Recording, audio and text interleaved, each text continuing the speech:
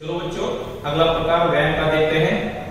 अनुजावर दिया अपने सामने यहाँ पे खड़े हैं। तो चलो अनुजावर अब आप लोगों को करना है कि अपने दोनों हाथ पीठ पे रखकर नीचे झुकना है। झुको।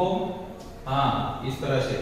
ठीक है, चलो। उसके बाद अपनों आप यहाँ पे दोनों हाथ फैलाकर ऐसे पीछे झुकना है। तो इस तरह से यहाँ पे जैसे अनुज और दिया कर रहे हैं, वैसे ही आपको करना है। हाँ सही है, ऐसे ही करना है। उसके बाद अपना दाहिना हाथ बाएँ पैर पर, जैसे कि यहाँ पे दिखा रहे हैं, दाहिना हाथ बाएँ पैर पर नीचे झुककर यहाँ पे रखना है।